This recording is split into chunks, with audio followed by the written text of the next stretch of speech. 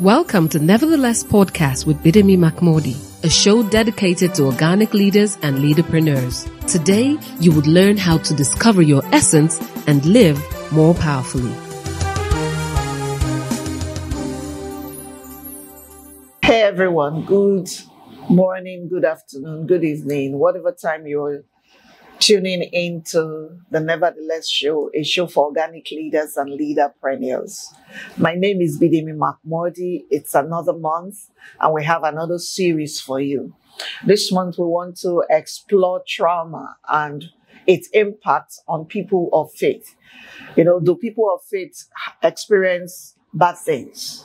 Mm. And when they do, what happens? Are they supposed to just move by faith and continue to just plow and pretend that it did not happen to them? Or should they acknowledge what has happened?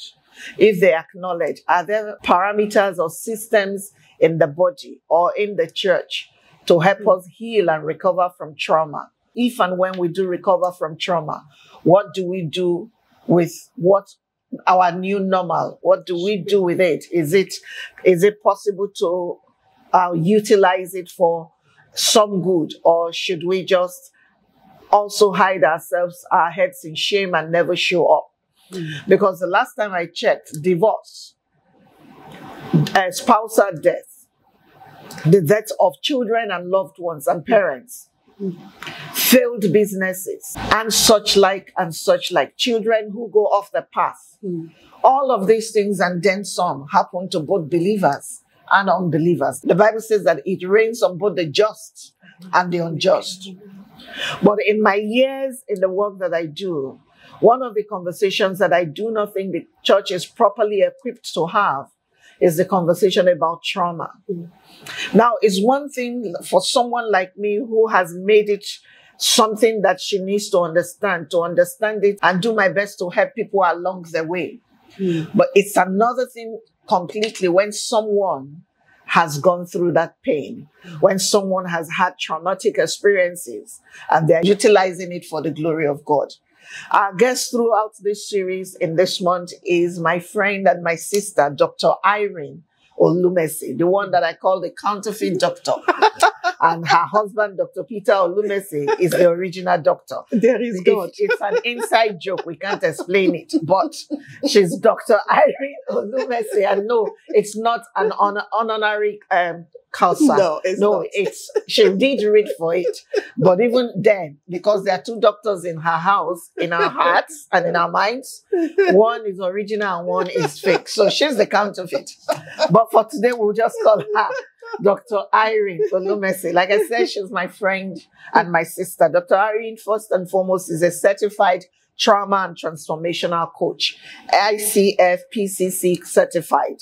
So she's not like me. She went to school for this thing. Okay. So I thought that not to just talk about the trauma conversation. Remember, I've, I've done a series on wholeness hmm. where I spoke about brokenness and wholeness and that all of that conversation. But I wanted to bring someone who has peeps and medals to show for the journey, both in her body, in hmm. her mind, and in bookwork to explain to us or to help us through this journey to first to help you understand that it's not sin all of the time that brings a believer to a place of trauma and then number two that trauma can be walked through so help me make welcome Dr. Irene Olumese. So welcome. oh. Thank you. Good to be here. Original pastor. Yes. Um, uh, uh, uh, we both know in your house we have two pastors as yes, well. but I'm the original one. Okay. Uh, it's a joy to be here on Nevertheless Show. It's a show that I've followed for many years. And so it's really an honor for me to be here with you today. So welcome. We're talking all things pain, trauma, and purpose. Mm, So mm. tell me, what is trauma? If if you had to explain it to someone, assuming that you know my my grandma was alive and was listening, okay. and she's not educated, how will you help her understand trauma? the simplest definition of trauma is anything that happens to you that overwhelms your capacity to handle it. Please, let's take that again. Anything that happens to you that overwhelms your capacity To handle it. to handle it, Yeah. that is trauma. That is, it comes upon your life and it breaks something fundamentally in you. Exactly. Mm. Or maybe it incapacitates you in such a way Mhm. that you are not able to move forward Mm. after it. Yeah. That is a traumatic experience. It's a traumatic experience, and the and, and the interesting thing is that trauma is very evasive, Mm. and um, it is with us. Mm. Um, from statistics, at least you know every one of us have had one traumatic experience or the other. Okay, so wait. You mean I've had traumatic experience? Definitely, at one stage of or the other in our lives, seventy-five percent of the population have had one traumatic experience or the Or other. the other. And So- we will all go through some things that will shake our foundation. But the question is, does it overwhelm us? Okay. When it overwhelms us, that is mm. when it becomes a problem that requires attention. Okay, so you're saying that trauma is invasive Mm. and it happens to everyone. Yeah. But some of us are better able to handle trauma than others of us. To some extent, To some depending extent. on what degree it Yes. came on us Okay, so- and when it Okay, did. so again, Mm. let me ex- um, um, try and understand. Trauma has different levels. Yes. That's what you're saying. So Yes. it's the reason I probably did not know I've gone through trauma because maybe my level is not that high. Okay, well, thank you, Jesus. I can't come and go and kill myself. Okay, so um, we have agreed that it comes in different levels. That's what you're saying. Yes. And Which there is why you different say types of yeah, trauma. different, different types of Mm. trauma, which is Mhm. why you say it is evasive. Yeah. Yes. Yes, so you can't sit down here Mm. and say every trauma is green. No. Neither can you sit here and say every trauma is red. Mhm. But every trauma is trauma. It's trauma. I found out quickly when I was I started to deal with not just myself, Mhm. but uh, other people and this conversation about trauma. One of the first things I found out is that trauma is for people is not about the magnitude. Mm. It's about the capacity, to handle. capacity to handle it. Because I know people who went through divorce like nothing happened. Mhm. And I know other people who went through divorce and they've not been able to get up. And it's been decades and, they're just where they are. decades, Yes. I know people who went through a um, a loss, the Mhm. loss of a loved one, Mhm. and somehow within a few months or a few couple of years, it's not that they forget, but they've been able to Walk continue through walk through it and Mhm. move on. Exactly. And then there are others that every single day they are crying, and some of us are getting actually frustrated. I say, Cass, come on, stop crying. What's wrong with you? So, what I'm hearing, or what I, I understand, and I want you to help me Mm. uh, confirm whether I'm right, Mm. is that just because it's not traumatic for me or it's not overwhelming for me does not negate the fact that it might be overwhelming for the other person. Absolutely. And that is why it is important for us to be trauma informed. Hmm. And one of the things that we've had to be talking a lot about in recent times is that every one of us in a position of authority, in a position of influence, needs to be trauma informed. We need to be able to recognize trauma when we see it in the way the people, person who is affected is responding Okay. to it. And, and presenting and the way they are presenting with it Mm. and it has symptoms you you know the person who has gone through a traumatic experience will tell you i am experiencing this for the, and depending on what caused that trauma what will determine what kind of magnitude what kind of impact it can have on that person. And then of, and so of course where it goes what intervention is it required. is required subsequently. If somebody comes and says that they keep having intrusive thoughts of something that has happened in the past and it is holding them back then we need to pay attention. We don't tell them get over yourself or we just don't make some prescription. And that's why I said that it's important for us to be trauma informed so that in the process of trying to help somebody, quote unquote, help somebody, we don't re traumatize them in the way we respond to them. Hmm. Okay, so yesterday I was taking new learning. I try to take new learning for myself from time to time. And this was talking about the frequencies of communication. But rather than talk about types of communication, this person was talking about the different individuals and Mm. how they communicate. Yeah. And he talked about commander. Don't ask me who's the commander.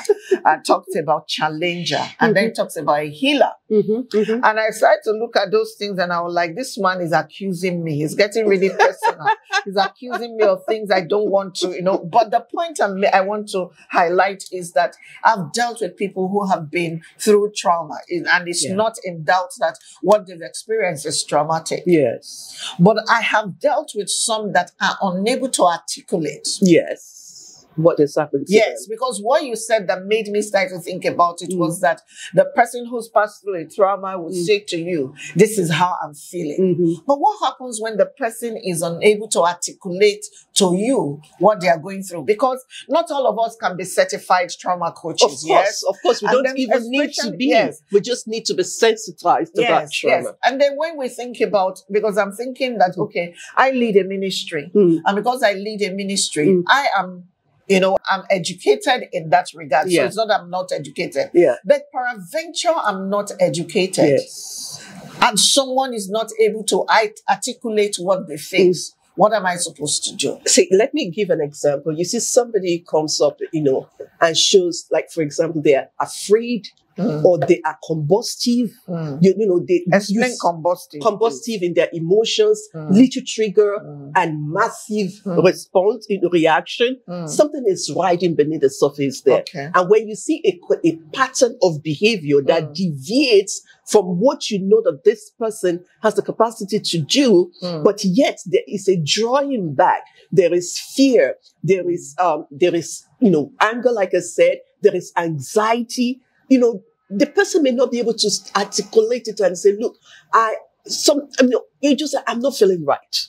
Something is going on with me. I'm not able to do the things that I want to do the way that I want to do them. It seems as if I'm constantly being held back. Or there is a particular thought that seems to be coming. Or there is a time in my, you know, a period that I get increasingly anxious. Maybe there's a period of the year, there is some sort of anxiety that comes. Those are indications that something is not. Something, Right. something is not right. So the next step would be if you notice it and you have the capacity, you have the knowledge, you can begin to ask specific questions to how to get to the root of the problem. If you're not, then that's when you need somebody else to Okay, so. I want to ask a question. yeah. Don't judge me, okay? Mm. But I need to ask this question. Yeah. How long does it take To to heal someone? For someone to heal? it is an individual process. Okay. Healing from trauma is so personal. We can't give it a timeline. You just have to walk at the person's pace. That someone may be able to get all the tools and apply the principle and pick up their life and run with it. Somebody else will require tenderness, care, and you keep working at it. And it also has to do with the personality of the person and the extent of the damage that has taken place. Mm. Let me give you an example. I'm working with a client that um, was abused as a child, Mm. and there were multiple because it could uh, uh, trauma could be one incident, And sometimes it could be and it could be multiple incidents, and it could be several types of trauma Mm. that had happened to Mm. her. The first thing was that the mother knew that something was not right because of the way the girl was so fearful, you know, and she rather be on her own, and she was she was losing her uh, her vibrancy. And she called my attention if I could talk with this girl. But you know, because I am trained we I have I know the questions to ask and we began to go in and have this conversation. It first turned out that this girl was abused within the home when she was young, but she she could not say it to anybody, Mm. and so she already developed a fear of certain spaces, and the parents were not aware of that, and they keep putting her in that space. Then the father died. Oh. And that was, Was another another- loss that she never had the opportunity to process. Oh. Then the mother remarried Oh, and she could not, you know, Mm. eventually relate with the male in the family. Mm. And then she got abused in the workplace. So you could see the build up. And to the point that this girl was no longer sleeping because every time she closes her eyes in the night, she sees things that scares her. Okay, so these things happen to people who are not born again. It happens to everybody. There's No, there's something wrong with their Christianity. absolutely not. Have you forgotten mean that that your they are- Bible wait tells now, wait, you? wait, wait. Now let me talk to you. I'm a pastor. I know. Okay. Eh, eh, okay. Are you sure this person was truly born again? I'm playing the devil's advocate. I'm sure you understand Yes. that. I don't work for the devil, but in this moment, we church needs to hear us and hear the us. church needs Let's to stop hear. sweeping Mm. these things under the carpet Mm-mm. and Mm-mm. pretending that they don't happen to people of faith. Mm-mm. Just because we want to keep this thing, uh, this semblance of being together and being shielded by God. Here's something that I know. I need to talk about this. God does not need us to protect him. Absolutely God does not, not. need us to defend him. Mhm. And until we begin to acknowledge that these kinds of things happen within the within families of faith, and Yes. that some of the perpetrators are people of, Of faith. faith. It can happen. It- the interesting thing is that people can get traumatized in the church. Recently, we're having this conversation, the trauma in the pulpit, trauma from the pulpit and trauma within the pews. There is trauma in from the pulpit, trauma in the pulpit, and trauma within the pews. And that's a conversation that we are not ready to have. We're, we're behaving like ostriches and burying our heads in the in, under the Especially ground. the church in Africa, yes? Or is it Believe me, it is worldwide. Wow. I have been traumatized within the church. I have been traumatized within the church, and I have learned to heal myself because I, I mean, I, I, I- I knew I had the capacity to be able to walk through that traumatic experience. And there are many people sitting within the church who have been traumatized right there in the church. So you come with trauma into the church. Something that happened, what we call adverse childhood experiences. It could be rape, it could be abuse, it could be neglect, something that's shaken your foundation as a child. You had never had the opportunity to deal with it. Or, you know, broken relationships of parents. You bring that into the church, the church does not recognize it. But because they do not recognize it and do not know how to deal with it, they end up compounding the problem and re-traumatizing you. Oh, well, all, they, all those all those traumas end up compounding our own problems as a church. I agree, absolutely agree because Because recently I was in the middle of many things and I was being really careful because I'm aware of trauma and I know how some of these things present. Yeah. So I'm very careful, maybe because, oh, like you said, I've been through one trauma level or another. So I was busy being careful and just didn't want to be because I, I represent the pew in yes, this regard. Yes. And I just didn't want to have to project oh, you represent the own- pulpit, the actually, pulpit, not I'm the sorry, yeah, yes, the you represent pulpit, I beg your yeah. pardon. Uh, you know, and I, I, I just wanted to make sure that the pew was all right. Mhm. Until God called my attention to something. He said, no, they are abusing you from the pew. Even though you're on the pulpit Mhm. and you think, oh, I have, I'm the one that needs to make things right. Do not open the door to be abused from the pew. That shocked me. That is also there. That is also there. There is something that my husband and I talk a lot about. Look, if the pulpit does not practice self care, if the pulpit does not take care of itself, because here's the thing that we miss out God does not deal with us in silos. Hmm. There is body, soul, spirit hmm. connection, hmm. and they are interconnected. What affects the body eventually affects the soul and vice versa, Yes. and will affect the spirit. Mhm. So you could be a spiritual being and come out there. But if you're lonely, you have no friend, you have no one you can talk to, you are vulnerable. If you have to keep up appearances, you become vulnerable. And you breakdowns, exhaustion also occur in the pulpit, and an exhausted pulpit Mm. will bleed on the pew. A broken pulpit will bleed on the pew and become so vulnerable to also abuse coming from the pulpit as well. So it's From the pew. it- from the pew as well. So it's vice versa. This is a conversation that I thought we were going to build up into, but it looks like Irene opened the door and both just happened. I think we need to take a break. Um, we'll be right back. When we come back, we want to drill deeper into this trauma conversation that the church doesn't want to have. Hmm. I want us to look at you know, I maybe Irene will share maybe just for five minutes a bit of her own experience, not the one that people inflicted, just the one that life inflicted. Mm. And then let's take it from there and see what it is that we can do with this. But the point is, like I said before, divorce, death, fraud, Chronic illnesses. chronic illnesses, rape, abuse, Happen. all kinds of things that happen out in the world Mm. also happen in church. Yeah. And because of that, we cannot pretend that trauma doesn't come to church. ah, there's a lot of trauma come in, the church. Yeah. We may be wearing hats and a lot of hands raised up Mm. before God, Mm. but there is trauma in the church Mm. and it is time to begin to talk about it. Do not go away. We'll be right back. This is still the Nevertheless Show. God bless you. Are you seeking to clarify your purpose and profit from it? Then get into Purpose University this year. It's a 10 week e course for people of faith who seek to clarify their purpose and profit from it. The DNA of purpose has been put together to help you understand what purpose is about and also help you discover what your journey of purpose looks like. Register today at yourpurposeu.org where Bidemi Mark-Mordi would hold your hands so you can discover your purpose and live a more powerful life.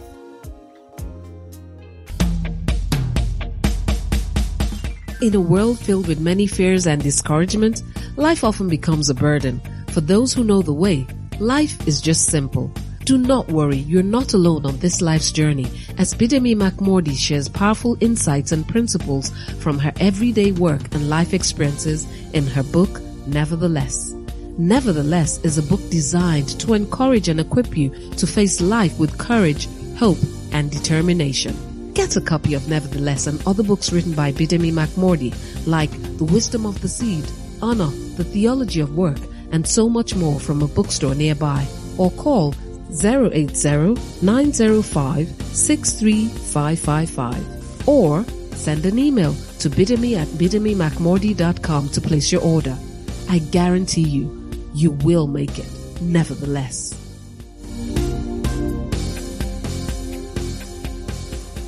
Welcome back. It's still the Nevertheless Show, and I still have with me Dr. Irene Olumese. We're talking all things trauma in the body of Christ and whether we are equipped to deal with it. Before we went on the break, I said to us that this is a conversation we do not want to have, hmm. but it's a conversation that the day has come and we need to have. And we're looking at all the things that make for trauma, and we have identified that almost everyone hmm. She said 75% of mm. people who are alive have experienced trauma. Mm. She also told us that trauma comes in different um, Forms, variations shapes, and yeah. forms and then different grades and mm. levels. And that it is not even about the magnitude of the trauma that makes it traumatic and would require intervention. Mm-hmm. It is more about the person's or the individual's capacity to walk through what is a traumatic experience. Mm-hmm. We have learned this um, in this episode that um, just because it is easy, uh, two people can go through the same thing, and just because they react or they respond differently mm-hmm. does not mean that the one that is crumbling, mm. it does not mean that that one who is crumbling is faking it. No, Is no, not no. usually a matter of faking, even though that happens. But this is not about it. So forgive me, I can be skeptical sometimes, but that happens. But um, it's not in every situation No, that that is that. No, no, Um, no, no. So I wanted to ask us, how do we begin to make this a normal conversation to have? Okay, I think it's first of all to recognize that yeah, in this world we'll have trials and tribulations, hmm. and we need to get that into our head because the Bible tells us that it's gonna happen. The promise is that we be of good cheer because Jesus has overcome the world, so we do not need to be overwhelmed victims. Hmm. We can be overcoming hmm. victors, right? So that's the first point. The second thing we also need to recognize is that closely associated with every traumatic experience is shame, is guilt, is um, a vulnerability hmm. to even attract more. Hmm. That you find that's why you have people may have a repeated pattern of behavior and you keep asking why are they? Hmm. So because if you do not heal from a past hurt, you have the capacity to attract more, More of that of that to yourself. Really? And yeah, because you, you you you're vulnerable. And you begin to take, you know, develop coping mechanisms that may not be appropriate. A lot of us tend to have negative coping mechanism to deal with something that we do not want to bring into the surface. So if we begin to normalize this conversation, first of all, recognizing that it is present with us and it is not abnormal because we are living in a broken world. The problem we have as Christians sometimes is that as much as we want to practice faith and positive confession, this is not my portion. We forget that people have already hap- it has happened. Life has happened to somebody, and we can't confess ourselves out of it. I actually even think that it's even more um, fundamental than that, in that um, we have an adversary. yes. So whether it happened or it hasn't happened, because we have an enemy, It's to the chances that it will happen is there. is there. Yeah. The chance is there that it will happen. So having this conversation does not negate our faith. no. It just makes people I actually think that if we had this conversation a bit more, people would have been better equipped. They would be aware, Exactly. at You- least sensitive. You're sensitive, you're aware, and you know what your triggers are, and you know that help is available. The church is meant to be a place for healing. It's meant to be an emotional, spiritual hospital where we can come to with our traumatic experiences hmm. and know that we will receive support. But are we equipped as churches to handle emotional hurts, to handle traumatic experiences? Do we have people within the, the, the, the church who are trained to recognize this and support this? I Because it that- does not have to be the pastor alone who is handling this. I think that we're going too far in asking, are we trained? I think we should begin by saying that, okay, if some young lady comes and says hmm, someone in church raped her, for instance, we should not say this is a church matter, let's settle it in church. Hmm. I think acknowledgement and I think, you know, just having the conversation the way it's stipulated to ha- be hmm. had hmm. is the first step to people recognizing that they need to be trained.